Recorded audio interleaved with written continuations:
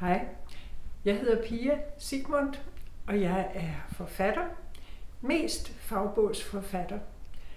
Og jeg har faktisk lige udgivet min bog nummer 40. Og det er cirka 20 år siden, jeg begyndte at skrive.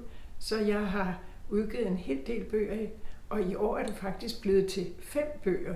At udgive fem bøger i løbet af et halvt år, det er virkelig et stort, en stor opgave at prøve at putte dem i hver sine kasser, for de handler, de fem bøger, om vidt forskellige ting. Men øh, jeg prøver at inddele min tid, så, så det går nogenlunde op.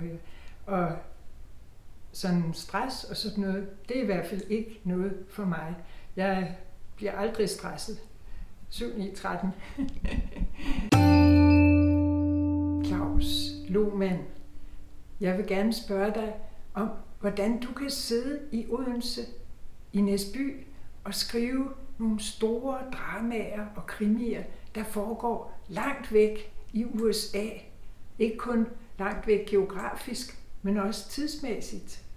Hvordan kan du leve dig ind i den verden, når du sidder her på Fyn?